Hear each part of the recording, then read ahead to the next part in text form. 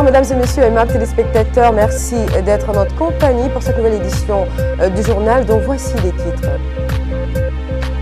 Le ministre de l'économie et des finances, Mokhtar Ndiaye, a participé aux réunions du Conseil des gouverneurs du FIDA qui se sont tenues du 13 au 14 février courant à Rome. Mobilisation politique en Mauritanie, l'opposition marche consécutive à Nouakchott et côté majorité, lancement d'une plateforme sur les sites d'échanges sociaux pour la restructuration de l'Union pour la République. Le feuilleton Zuma se poursuit donc d'épisode en épisode. L'ANC a fait du chemin en arrivant à ce rappel, mais semble décider à passer à la vitesse supérieure.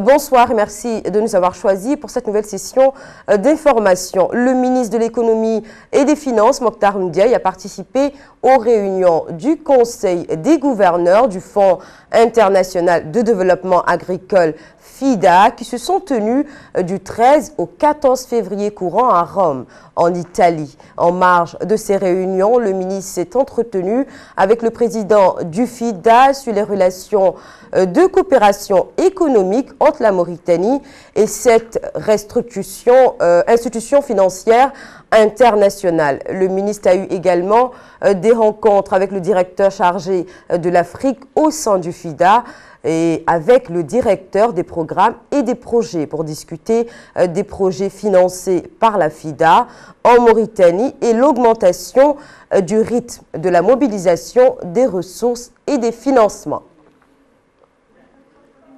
La scène politique mauritanienne enregistre une certaine dynamique. Ces derniers jours, l'opposition ayant organisé deux marches consécutives à divers endroits de Nouakchott, la majorité pour sa part se focalise sur la réorganisation intérieure à travers le lancement d'une plateforme sur les sites d'échanges sociaux. L'opposition s'est concentrée lors de ces deux marches sur la situation économique et sociale des ménages, notamment la hausse des prix, la faiblesse euh, du pouvoir d'achat du citoyen, la sécheresse et l'action du gouvernement à l'encontre d'un tel constat. Quant à la majorité, elle se focalise sur la restructuration de l'Union pour la République euh, dans l'optique de la présidentielle de 2019 et de, des futures élections régionales. Le feuilleton Zuma se poursuit donc d'épisode en épisode. L'ANC a fait du chemin en arrivant à ce rappel, mais a décidé de passer à la vitesse supérieure. Jacob Zuma refuse l'ordre par le rappel et fait de la résistance. Du coup, l'ANC a déposé au Parlement une procédure de démission euh, forcée par le, par le biais euh, d'une motion de méfiance de défiance au Parlement. Plus de détails euh, dans ce reportage de Baba Carfal. Jacob Zuma n'a pas annoncé sa démission et maintient qu'il n'a rien fait de mal.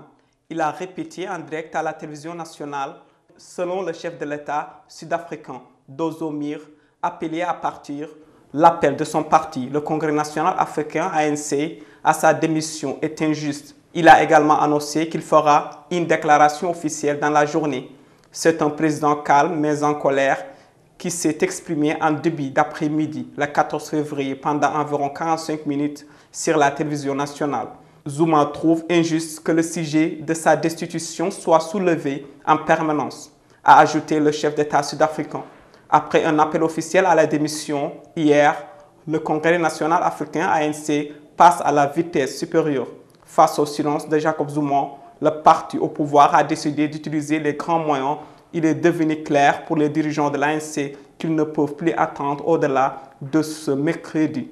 Selon les propos du trésorier de l'ANC, Paul Machatil, la déclaration du président à la télévision nationale intervient alors que ce matin, l'ANC lui a posé un ultimatum. Soit il démissionne d'ici demain matin soit les députés de l'ANC voteront en faveur d'une motion de défiance contre le chef de l'État, soit les députés de l'ANC voteront en faveur d'une motion de défiance.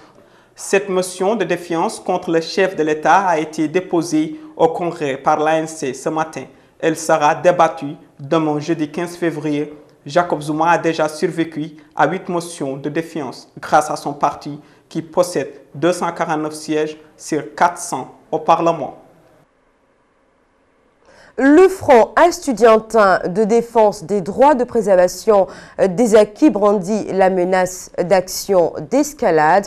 Lors d'une conférence de presse tenue à Nouakchott, le Front affirme déceler des cas de dysfonctionnement au niveau de l'enseignement supérieur en Mauritanie. Le Front estudiantin organise depuis plus de trois semaines déjà une marche hebdomadaire en protestation contre la décision du ministère de l'enseignement supérieur au sujet des bourses. Les travaux de la journée de concertation entre les secteurs publics et privés, organisés par l'Union nationale des employés mauritaniens en coopération avec les pouvoirs publics, ont été clôturés mardi soir au Palais des Congrès à Nouakchott. La consultation entre les secteurs publics et privés a permis aux participants de concevoir des projets de partenariat entre les deux secteurs à travers quatre ateliers euh, qui ont caractérisé la journée et discuté euh, des ressources marines, agricoles et pastorales, de l'industrie des mines, euh, du commerce et de la boulangerie et des pâtisseries. Les ateliers ont également discuté du climat des affaires en Mauritanie, des institutions financières, des services, des transports et du tourisme.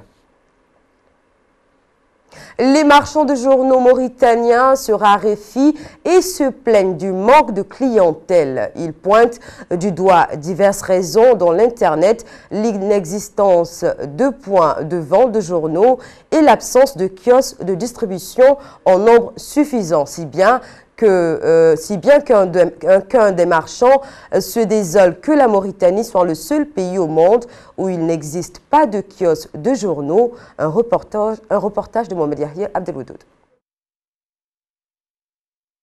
Les distributeurs de journaux mauritaniens se plaignent de la baisse de l'affluence des clients. Ils expliquent la désaffection du public par divers facteurs, dont la disponibilité de l'information sur Internet, la non-disponibilité des journaux et l'inexistence de kiosques de distribution en nombre suffisant. Les marchands de journaux disent qu'en dépit de la disparité de l'affluence entre les journaux francophones et ceux arabophones, la presse en langue française étant plus vendue, le niveau de publicité pour l'ensemble de la presse reste bien faible. Dans le meilleur des cas, un vendeur modeste gagne tout au plus la contre-valeur d'un dollar par jour, soit moins que le seuil de pauvreté Najioul Bilal, célèbre marchand de journaux, affirme que la concentration des points de vente des journaux au centre-ville expliquerait la baisse des ventes du titre de la presse. Il dit que les autorités mauritaniennes refusent d'autoriser l'ouverture de kiosques de distribution en dépit des nombreuses demandes et de la correspondance à cet effet. Oul Bilal exprime le regret que la Mauritanie soit l'unique pays au monde où il n'existe pas de kiosques de vente des journaux. Baba Oul Mustafa marchands de journaux à Nouakchott regrettent l'absence de kiosques de journaux, ce qui les rend indisponibles. À l'ère de l'Internet et de la généralisation des smartphones bon marché, il n'en faut pas plus pour tuer la presse écrite mauritanienne, si bien que les recettes de celle-ci sont en chute libre et de façon continue, avec comme conséquence la baisse du lectorat, la chute des ventes, la raréfaction des publications des journaux. Les causes en sont certes la disponibilité du contenu sur Internet, mais pas seulement. S'y ajoute la raréfaction des vendeurs et des distributeurs, si bien que la presse écrite mauritanienne se trouve en état de mort clinique. La capitale économique a abrité ce mardi la tenue de l'Assemblée générale du Bureau régional de la Fédération nationale de la pêche artisanale. Cette assemblée a donné lieu à la mise en place du nouveau bureau de 23 membres sous la direction de Sid Ahmed Oul Abeid, le directeur exécutif de la Fédération nationale de la pêche artisanale. Abdrahman Oul Chevif a, dans son mot pour la circonstance, souligné que l'installation de ce bureau s'inscrit dans le cadre du programme de décentralisation adopté euh, par la Fédération et visant à mettre en place euh, des structures régionales élues par les délégués des sections et sous-sections représentant les différentes filières de la pêche artisanale. À son tour, le président du comité professionnel de la fédération, Cher Melaïn Boutia, a abordé les conditions qui ont accompagné les opérations d'adhésion. Les intervenants qui se sont succédés au cours de cette rencontre ont mis en relief l'importance euh, de la pêche artisanale en raison du rôle euh, qu'elle joue en matière, euh, matière d'emploi au profit des citoyens. Hicham Abou Mahfouz, secrétaire général adjoint de la conférence populaire des Palestiniens à l'étranger, appelle les organisations humanitaires internationales à assumer leurs responsabilités euh, légales et morales face aux flagrantes violations euh, des droits des prisonniers commises par les autorités euh, palestiniennes, israéliennes plutôt. Mahfouz pointe du doigt la détention administrative d'un procédé de détention automatique en usage contre les prisonniers palestiniens en franche d'opposition flagrante avec la Convention de Genève sur le traitement euh, des prisonniers de guerre. Mamadou Seydouba. Hafez Abou Mahfouz, secrétaire général adjoint de la conférence populaire des Palestiniens à l'étranger, exhorte les organisations humanitaires internationales à assumer leurs responsabilités légales et morales face aux violations commises contre les prisonniers palestiniens détenus dans les zones israéliennes notamment ceux qui se trouvent en détention administrative. Une mesure en opposition flagrante avec la Convention de Genève sur le traitement des prisonniers de guerre. Abou Mahfouz salue la déclaration des prisonniers administratifs de boycotter les tribunaux sionistes y voyant et une réponse naturelle aux pratiques des autorités pénitentiaires sionistes mettant les prisonniers en détention administrative, mesure qu'il qualifie d'épée et de Damoclès prêtes à l'usage contre les prisonniers palestiniens. Abu Mahfouz affirme que ces pratiques de la part des sionistes à l'encontre des Palestiniens sont une véritable violation de toutes les conventions et chartes internationales de protection des droits des prisonniers, appelant la communauté internationale à demander des comptes à l'entité sioniste au sujet de ces violations, qui ne s'arrêtent pas uniquement à la détention administrative, mais à l'agression physique et l'isolement, à l'interdiction de visites familiales et autres pratiques sadiques. Abou Mahfouz appelle les masses palestiniens à répondre à l'appel prisonnier administratif et à soutenir leur démarche par les activités solidarité partout où se trouvent les peuples palestiniens, tant à l'étranger qu'à l'intérieur des Palestines occupées en défendant les droits des peuples palestiniens dont le premier est le droit de retour. Les détenus administratifs au sein des prisons de l'occupation ont annoncé mardi leur boycott de tous les tribunaux de détention administrative israéliens et c'est pour une durée indéterminée de façon définitive. Le malaise au sein des forces sécuritaires gagne la police étant à l'éducation. Euh, plus de 20 policiers abandonnent leur poste dans une communauté, dans une commune rurale euh, du nord du Burkina Faso, ayant subi un attentat la semaine dernière. Une désertion qui rappelle celle répétitive survenue au Mali à plus d'une semaine de la conférence des donateurs à Bruxelles. 20 policiers, y compris euh, leur chef, désertent leur service au sein d'une commune rurale située aux frontières entre le Burkina Faso et le Mali, et ce, en raison du manque d'équipements nécessaires à la lutte euh, contre les attaques terroristes qui surviennent euh, fréquemment dans la zone. Une désertion euh, collective qui intervient quelques jours après une attaque dans la localité de Dio, située dans la région du Sahel au nord du Burkina. Cette fuite des policiers est concomitante à celle des enseignants. Du coup, les écoles sont fermées, ont fermé leurs portes. Il ne reste plus que les forces spéciales de lutte antiterroriste ainsi que des éléments de la gendarmerie récemment déployés à la suite de l'attaque pour parer à toute éventuelle euh, nouvelle attaque. Nous sommes à la fin de cette édition. Le rappel des titres.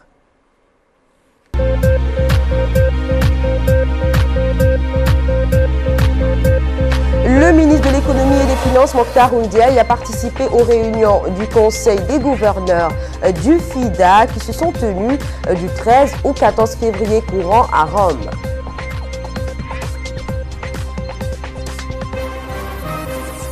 Mobilisation politique en Mauritanie, l'opposition marche consécutive à Nouakchott et côté majorité, lancement d'une plateforme sur les sites d'échange sociaux pour la restructuration de l'Union pour la République.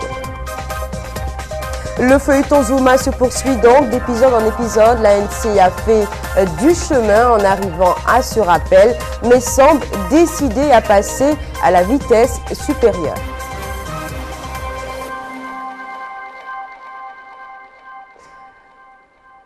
Mesdames et messieurs, ainsi s'achève cette édition. Merci d'être resté dans notre compagnie. Je vous souhaite une excellente sur le programme. Je suis El Mourabitoun. Vous pouvez suivre nos éditions sur notre page Facebook dont la voix apparaît à l'écran.